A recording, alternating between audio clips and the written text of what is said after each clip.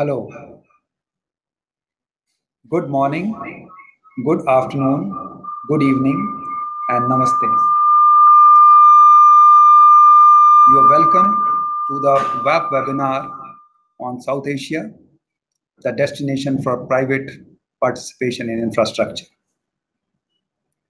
My name is Naresh Bana, and I am the moderator for this roundtable. I am the chairperson of South Asia chapter of. Before we begin, allow me to share some AirMeet platform technicalities with you and present the sequence of events for the next 45 minutes. This roundtable is being recorded and is scheduled to finish by 13.15 Geneva time. The chat function is activated for you for, uh, for all the matters you wish to discuss anything. And you can also raise hands or use Q&A box for any comments, interventions you wish to make. I will present the speakers ahead of the roundtable and it will last for 45 minutes. Our first speaker is Dr. Anand Chiplunkar. He's a former ADB uh, person, and he has a unique expertise of more than three decades in the fields of urban infrastructure development and environment management. He worked in the Asian Development Bank, Manila, till April 2016 as Director, Urban Development and Water Division in the Central and West Asia Department. He also was the chair Committee of Directors of the Urban Sector Group and core member of the PPP thematic group in ADB. Dr. Arvind Chiplunkar. And our next speaker is Mr. Vikash Sharda. He's a seasoned PPP professional with more than 20 years of experience in strategy and management consultancy. He is also a certified PPP professional and has executed more than 100 PPP assignments. He has undertaken many engagements in infrastructure sectors in the area of planning, development, financing, cost optimization, risk management, etc. He has advised many PPP assignments to the funding agencies and government agencies. With that small introduction, let's get on with the task at hand to discuss and evaluate how South Asia is emerging as the destination for private participation in infrastructure. Gentlemen, the key highlights of the World Bank PPI 2020 report indicate 54% decrease in private participation in infrastructure in Latin American and Caribbean countries. While East Asia has suffered maximum decrease, which is almost 75% due to COVID. And as far as South Asia region is concerned, there is a decrease of 18%. Europe, 42% decrease. The only region which seemed to have had uh, increase in private participation is sub-Saharan Africa, where an increase of 7% is seen.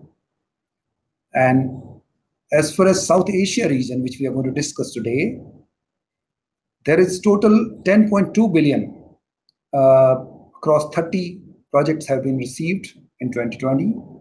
An 18% increase is very good on uh, as compared to 2019 levels but it is approximately same as the five-year average. Though the number of projects was the lowest in 10 years, the region continues to remain attractive for the private investors in the infrastructure sector. With that background and keeping current geostrategic and economic conditions of the Asia Pacific and South Asia region, I request Dr. Chiplunkar to throw light on future of PPP as a mode of project delivery in South Asia. Floor is yours, sir. Hello, friends. Uh, it's nice to be speaking to all of you on this uh, very important and uh, a topic close to my heart. You know, when you look at uh, South Asia and the PPP prospects, uh, while I'm stating the obvious, and Naresh has given the statistics that PPP uh, in the last year has decreased significantly, what one needs to bear in mind is the demand still exists and the demand is still unmet so it's a matter of time that uh, after the pandemic effect is over, maybe uh, in this year, we should see a rise again in the PPP uh, investments. Now, uh, what are the lessons which we have learned in the pandemics which will uh, drive the future of PPPs? An aspect I would like to touch upon. Uh, first and foremost, I think going away from the energy and transport sector which has in the past and now been receiving significant investments. I think the social and the water sector are the sectors where there will be a lot of uh, focus on getting the investments right so that you can have the next generation PPPs there, which lend an angle uh, of inclusiveness to all the investments and uh, to the people who are going to be the beneficiaries. So in that uh, increasing order, if I may say, uh, so state, I see that uh, investments in water and sanitation sector will lend an element of having more people being uh, receiving uh, reliable water supply, sanitation services, all the more so because of the need to uh, counter the pandemic effects, where it has been shown that hand washing wash has been a, a particularly significant uh, factor in controlling the pandemic uh, spread. And moving from uh, uh water sector, uh, transport and energy are again the uh, sort of investor favorites. while looking at transport, I think in India in particular, that is an area where the government policies and the thrust of increasing the roads and connectivity is going to be driving this. In India, at least, uh, the model is well set. It's a risk factor which has to be accounted for. And that risk factor, I think, once the pandemic is over, we will be uh, seeing a renewed interest. But uh, more than the transport sector, it's the energy sector. And in that, the renewable energy, which is going to be driving the future investments uh, in India, because there is at one stage a lot of potential for uh, solar uh, energy, uh, renewable energy to be increased. And the government focus, the government policies on this also are increasing. Increase, in, indeed, this trend has been shown to exist a few years earlier too. So I expect that trend to continue and we should see a significantly higher rise in the investments in the energy sector uh, more so in the renewable sector.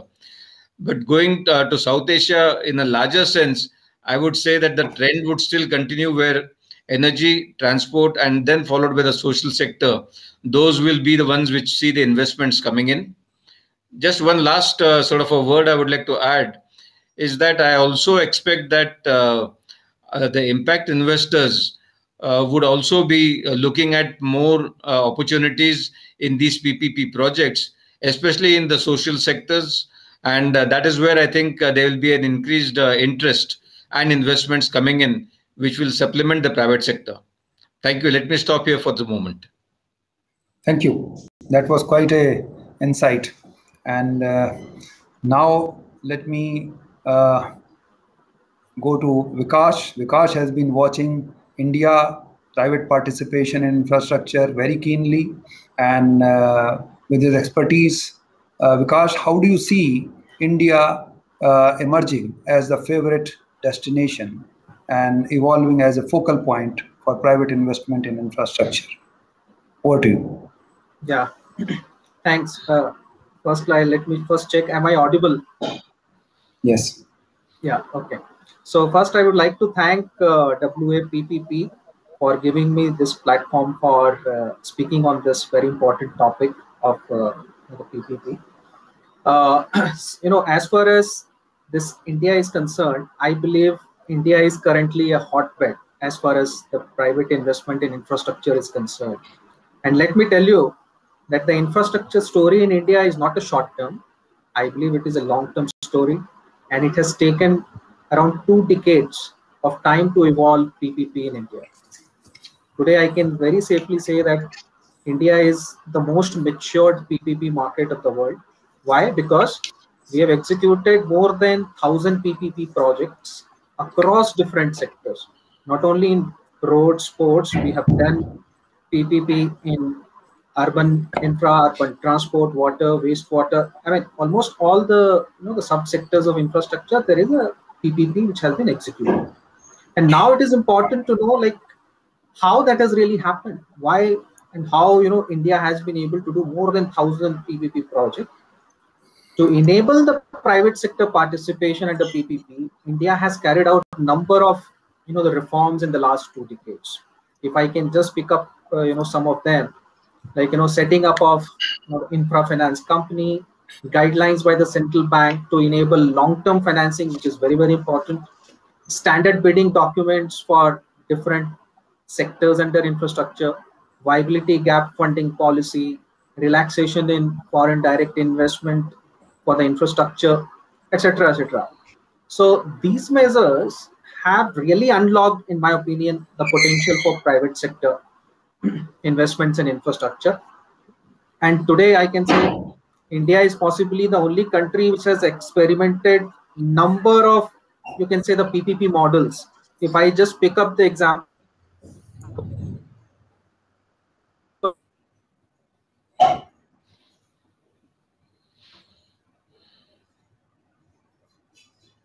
it seems there uh, is some gap funding, pure annuity model, hybrid annuity model. Is there? Hello. There was a disruption in your voice. Please continue. Yeah. Is it is is it okay now? Yeah.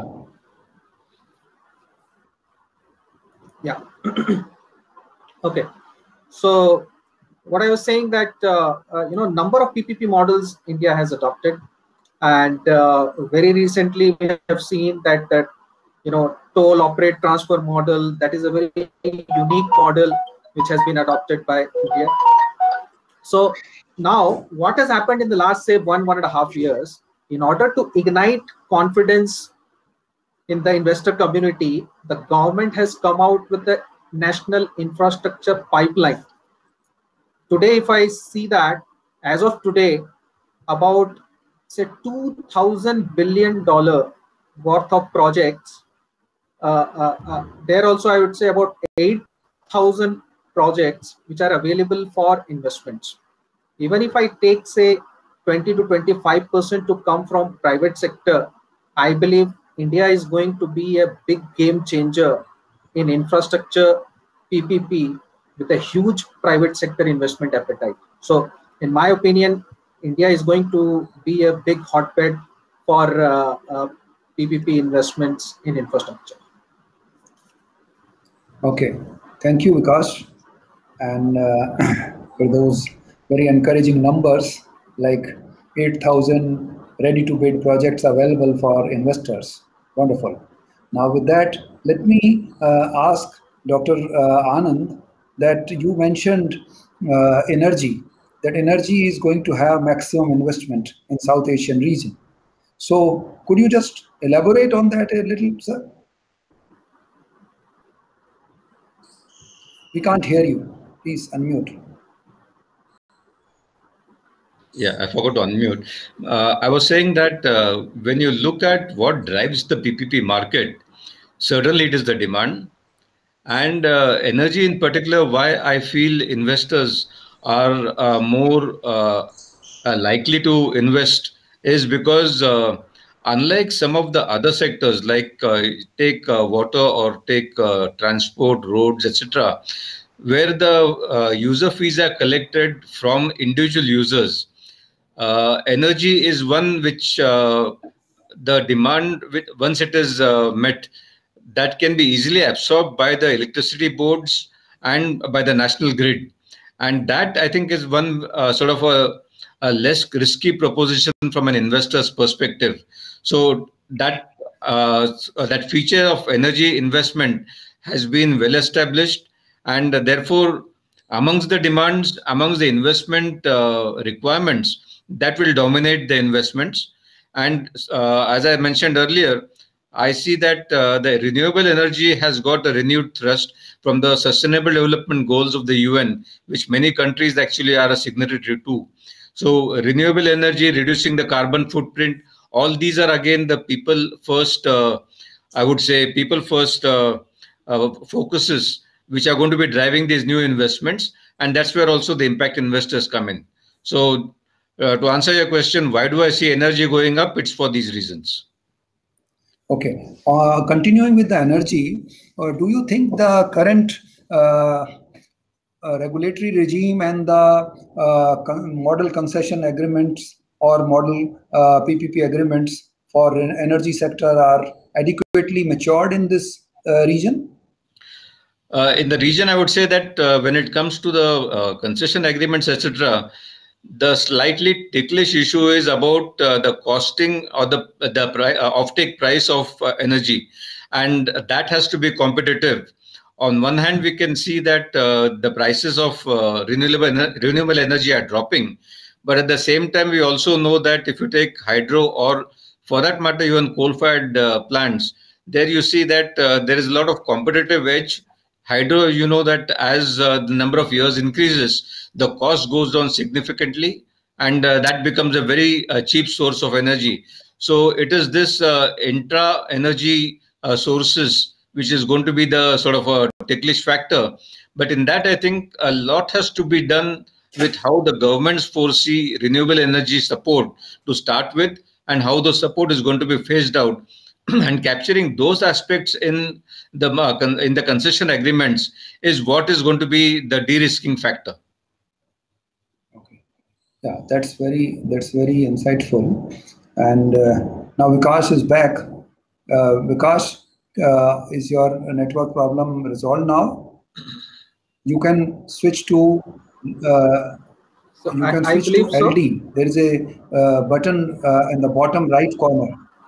Yeah, I've, okay. I've already done. Yeah, I've okay. already done that. Fine. So now, if you've done that, now uh, let me take you to the uh, discussion on energy where we were, and uh, you would see that out of the 129 electricity generation projects in this uh, uh, report, 117 were in the renewable energy, right? And uh, yeah, would you like to talk about that? That how renewable energy is gaining more focus and importance, uh, especially pertaining to the South Asia region. Yeah, so I think you are correct that about 117 projects out of 129 were renewable projects. And I believe there are some reasons behind that. So currently energy sector that contribute about 30 to 33% of the global carbon emission. And we all know that climate change is a big concern before the global community. And in order to deal with this climate change issues, under Paris Agreement, about 200 countries they agreed to limit the global warming to not more than 2 degree by 2100 or so.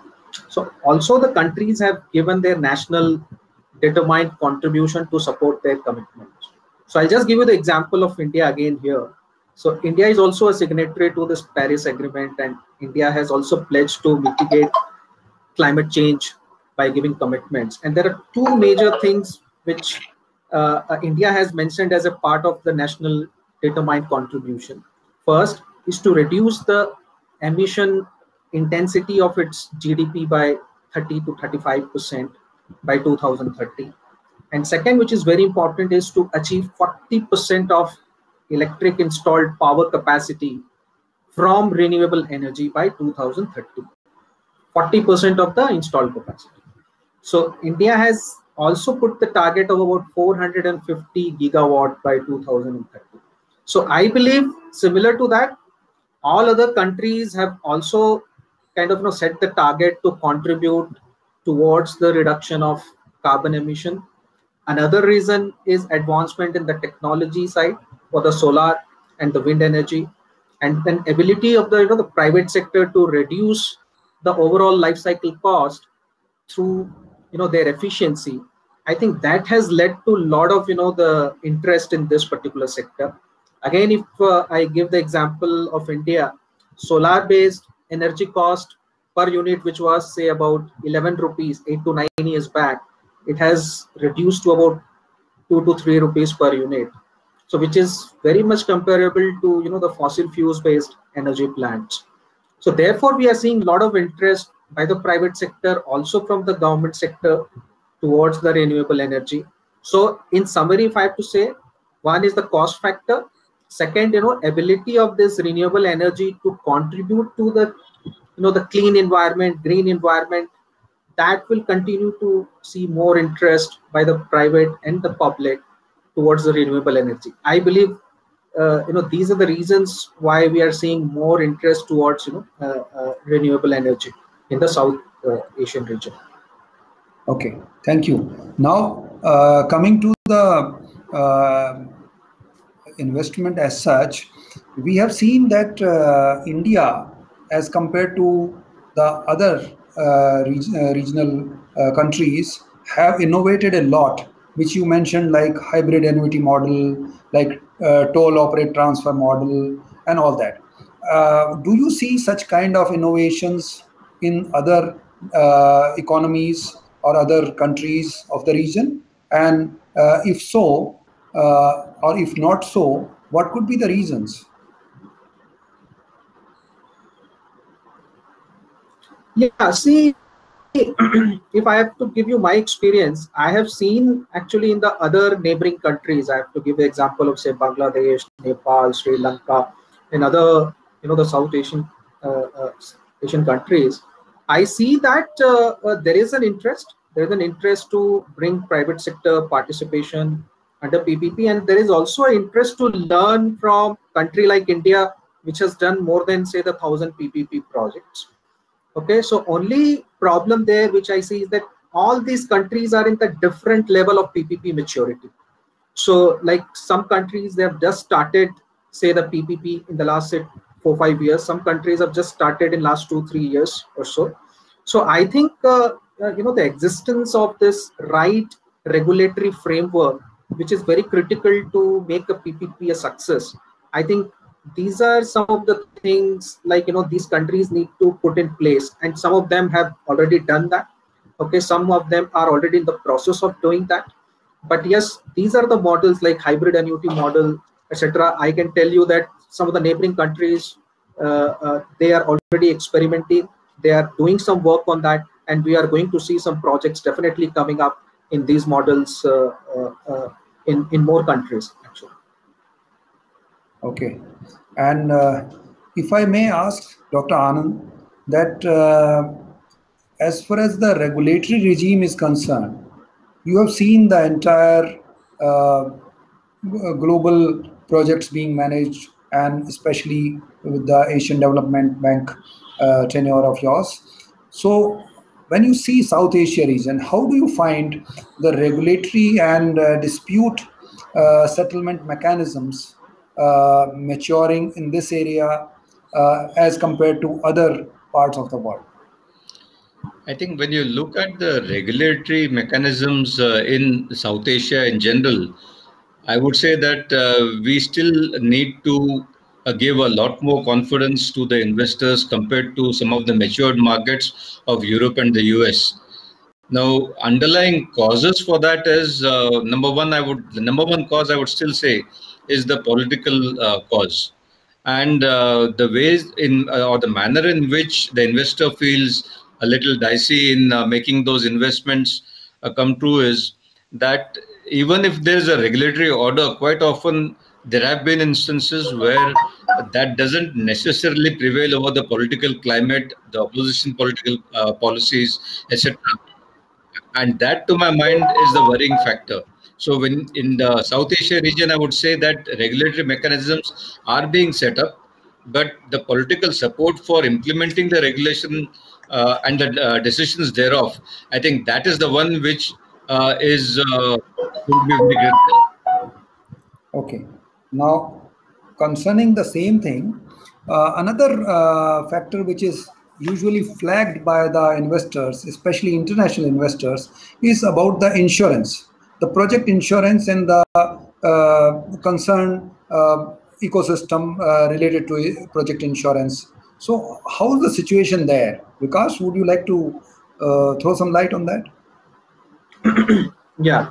See, as far as the insurance is concerned, specifically in the PPP space, so most of the model concession agreement, most of the concession agreement does talk about, you know, that the uh, the sponsors or the concessionaires to undertake uh, the specific, uh, you know, the insurance with respect to the project assets. So we have seen that, uh, uh, you know, in a country like India where this thing has really matured actually.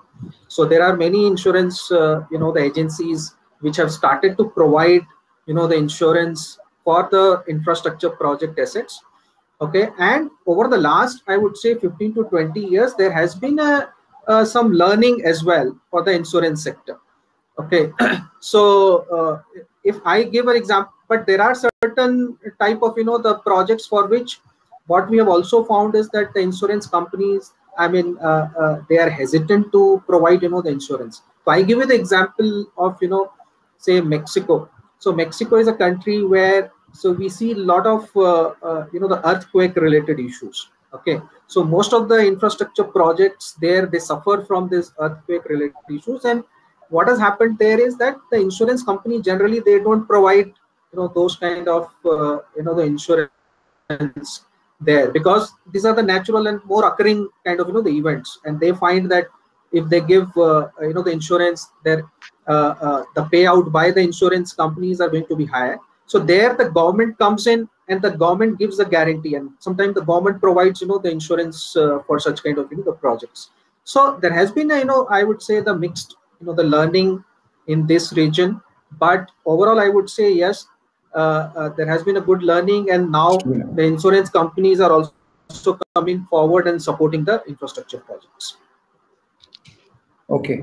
So uh, on a on a higher level uh, for a international investor for uh, ensuring their investment as such what kind of mechanisms are available in this region? Uh, dr anand if you could just say a few words about that. Yeah. Uh, for an international investor, I would say that uh, when you look at uh, the support which uh, banks like ADB or the World Bank have been given, the uh, partial risk guarantee mechanism is one such mechanism which is uh, extremely makes the investor extremely comfortable, and that I think counters the earlier risks which I outlined. So that is definitely one mechanism which can be brought to the front. second thing is I think when you look at uh, I would say, uh, the ADB or the World Bank support to a project, that support catalyzes a significant amount of private sector investment also along with that investment which is made by the uh, private sector department uh, of uh, uh ADB or for that matter IFC. Now, the presence of these multilateral development banks is another comforting factor in these investments. But that said, I don't think uh, that really uh, covers all the projects or the potential for investment of the private sector in many of these projects. These models have to now be extrapolated at the national levels. Uh, and uh, that, I think, is going to be the key transition, which uh, needs to be made uh, in a more, I would say, a firm manner. Yes. I think a lot of ground has to be covered on these issues especially if uh, the international investors' confidence has to be brought to the optimum level. Now, talking about the international investment, uh, we uh, also need to talk about the IT uh, and the IT-enabled tools which are now coming up uh, in uh, project development, bid management, and execution management. So, like Ansarada and other tools which are there. So uh, uh, my my point is that uh, how do you see that biddable projects becoming more uh, multiplying in numbers by use of IT. Uh, what is the uh, what is the liking or uh, uh, uh, acceptance of such tools in this South Asia region for developing their projects, making them biddable, or taking them forward thereafter? Let me to go ahead. Yeah. Okay. Now, uh, as far as IT is concerned, I think the biggest advantage uh, which one sees in this process is the transparency, starting from the bidding, is the transparency mechanism which comes into the picture. And second thing is that uh, along with transparency at the bidding stage, where how a project is decided, to uh, going in the execution stage, how the project performance is transparently available or uh, can be seen by the consumers or by interested parties. That is the second angle. And I think uh, putting these two together puts the investor and the uh, delivery mechanism on its toes so that what has been what has been the promised performance is something which can be monitored something which can be questioned if there's a slippage and uh, something which needs to be corrected rather than uh, being uh, you know pushed under the carpet i think this is a tremendous advantage of the it enabled uh, systems and the mechanism as such. And going purely to the use of it within the project i think i don't need to speak much about that. But uh, all of us in uh, many projects in many spheres this is becoming a part of life. So that is that it goes without saying that without that a project is going to be floundering a bit uh, especially when it comes to managing these projects in a more efficient manner just There uh, uh, yeah, yeah, please yeah please, please. No, no, No, I, I just wanted I just wanted to share, I think, something more on when because we're talking on the PPP. So I thought, uh, you know, uh, let me also share. Yes, IT. I think it has been very well covered by uh, Chiplunkar sir. Uh, uh, but I think it is important to also talk and give some view on, you know, what makes this PPP project to be successful. Because I worked on several projects, and then what I have found actually is that you know the project readiness i think that seems to be the most important thing to make the project successful. Because end of the day yes the government agency will bring out the projects they will float the tenders. And if there is no bidder finally which bid for the project and if you don't sign the concession agreement in my opinion there is no success in the project. So what really makes you know the project to be successful is to kind of you know make this project absolutely ready for bid and we have seen that you know in many projects where from the government authority side it is not prepared well. You know if the project has to be constructed on a particular location land has not been acquired fully or land has been acquired only 50% 40% and then it has not been structured properly the risk is highly transferred in favor of uh, or highly transferred to the private sector and private sector is not able to manage those risks. Now we have seen number of you know such things. Because of that you know the ppp projects have failed. So i think it is very important that you know the project authorities i mean they prepare this project well. Wherever there is a land requirement they should acquire the land before floating the tenders. I think it is also important that you know within the government authorities i think their capabilities also needs to be enhanced only signing of the concession agreement in my opinion is not the success. Probably i think the main job of the project authorities starts after they sign the concession agreement. Therefore their ability to do a you know good project management good contract management i think ability of them in that aspects you know that is equally important for uh, making this project successful. So i believe these are also important things i think uh, uh, for you know the project to be successful under uh, ppp so I, I just wanted to add uh, you know uh, apart from this it etc i thought uh, these are also No, it's a very valid point discuss. you added. And uh, Dr. Anand, would you please go ahead? Yeah. In fact, let me give you two uh, other perspectives which are equally relevant. One is uh, from, uh, let's say, take the considerations of uh, the likes of uh, ADB. Now, when ADB lends money to a country for projects, the country which borrows the money is so conscious about the cost of the capital that they would uh, normally uh, enter into an agreement to borrow with a project readiness, uh, as uh, Vikas mentioned, to the extent that almost about uh, 60 to 75% of the contracts are ready to be bid out. That's when the country borrows from ADB. Now, that is a very high level of uh, uh, cost consciousness uh, which one sees when the country borrows.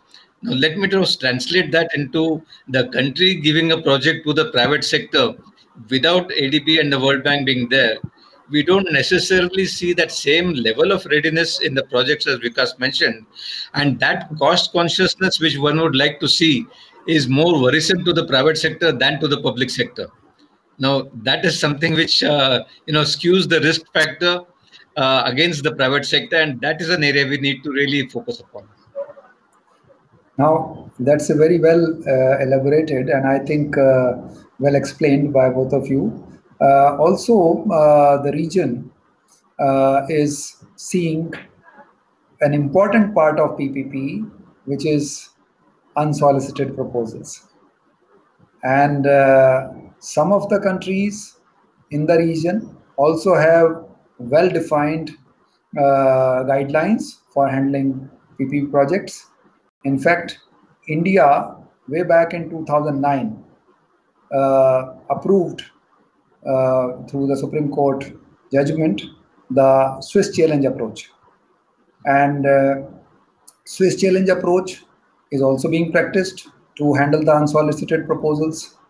So, uh, when we see the dearth of biddable projects or less prepared projects, do you feel that uh, Swiss challenge approach or uh, well-defined guidelines for handling unsolicited proposals would be making some difference to the development of infrastructure in this region and would draw in the uh, suitable investment in future as we go forward Vikas.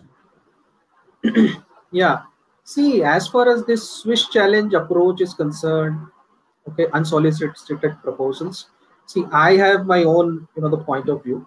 And uh, i believe that uh, there has to be a very clear guidelines very clear you know the regulatory framework within which this swiss challenge proposal needs to be accepted. I think the most important thing in any infrastructure project is the transparency i think transparency has to be at the core of uh, you know the infrastructure projects bidding. And it is very important for the government authority to ensure that this transparency is maintained in all the projects, whether they uh, uh, uh, kind of float the tender at that point in time or when they invite unsolicited you know the proposals. I think that is very important so i mean uh, uh, based on our experience my experience i mean i have not seen many projects uh, where this swiss challenge approach or say unsolicited proposals have been uh, uh, approach have been adopted by the government. There has been some few, uh, you know, the projects where this approach has been adopted, but I believe this should be applicable to such projects which are very very unique in nature, actually. Okay, and where say a particular private person brings in a very unique experience, uh, which is not possible to get in the market in a competitive manner I think uh, that is very, very important.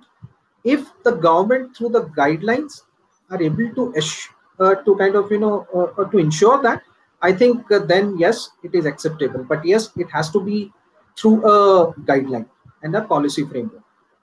Thank you. Would you like to add anything, Dr. Anand? No, I think these uh, unsolicited proposals are very far and few in between. So now with more transparency and more uh, sort of a, project development uh, being brought in by the government agencies, uh, I would say that uh, maybe 20, uh, uh, 20, years ago, when you had PPP market which was emerging, that time unsolicited proposals did have an element of, let's say, attractiveness. But now that attractiveness comes only in some of the unique projects, as Vikas mentioned, where it can be thought of. But on the whole, I would say that uh, one sees far and few, uh, you know, uh, less unsolicited proposals coming in. No doubt there needs to be a framework for it. But if you look at the overall investment percentages, that's going to be very many. Let me share with you the Pune Mumbai Hyperloop by Virgin Hyperloop has been awarded through Swiss Challenge approach. And a Mundra gas terminal. And as latest as 2019, we had a 100 megawatt uh, floating solar power project at Rihand, again through Swiss Challenge. So there are projects taking place, and uh, the good part is that there are now well-defined and well-laid down guidelines to avoid subjectivity or uh, favoritism which otherwise can creep in because the biggest challenge in a Swiss challenge approach format of procurement of project is ensuring competition, ensuring fair play. Now, if that is ensured, then certainly this could be adding to your project pipeline. And uh, it's been, uh, I think, uh, let me check what uh, the questions part. So we have around four, uh, four minutes with us. And uh, yeah, so viewers, if there are any questions, please shoot. We are here.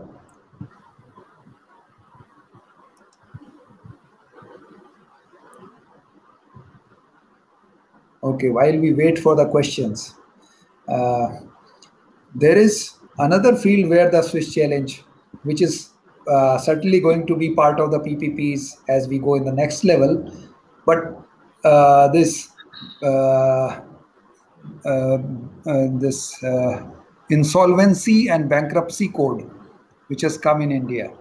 So there are many cases there which are being resolved through Swiss challenge approach. So India is embracing this format in uh, quite a numbers, and uh, I'm sure uh, the kind of uh, discussion we had and uh, the details which you brought in have been useful to the our viewers, and especially uh, talking about insurance, regulatory regime, the partial risk guarantee mechanism of ADB, and uh, you would also have noticed that Bangladesh uh, has led the 2020 investment commitments in IDA countries and by attracting 2.9 billion worth of investment commitments.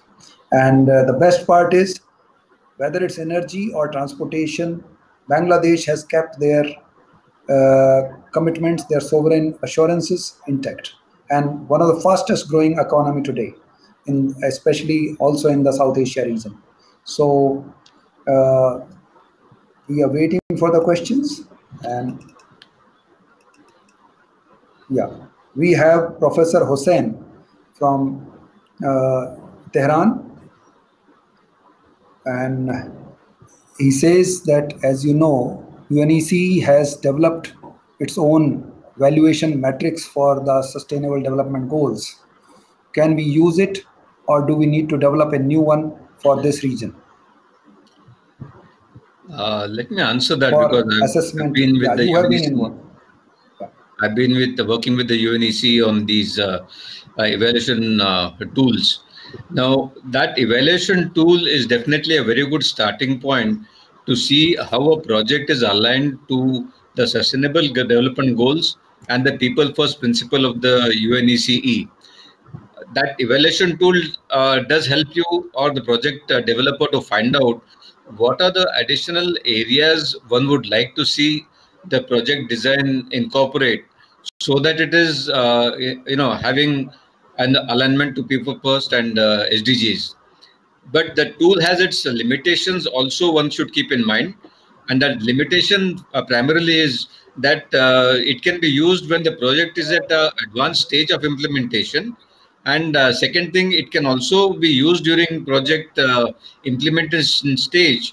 But uh, that uh, effectiveness, once the project is uh, you know rolling and cruising, is very little. So the best use of the tool is at the initial stage before the project actually is uh, sort of you know taken up for construction. Thank you, and that brings to brings us to the end of the question answer. And let me, on behalf of uh, the uh, entire annual Congress team. Let me thank you both and thank our viewers. to have joined and taken time out for this event. And uh, we invite you to share your PPP specific updates on our web blog and in our weekly newsletter. And if you want to be proactively involved in promoting and developing public private partnerships, we simply encourage you to become part of the WAPPP family. With that, I thank you, my uh, panelists, Dr. Anand and Mr. Vikas Sharda, and all the viewers. Thank you very much. Namaste. Bye bye. Have a Thank good you, day. Naresh, and all the viewers for this opportunity of sharing my thoughts.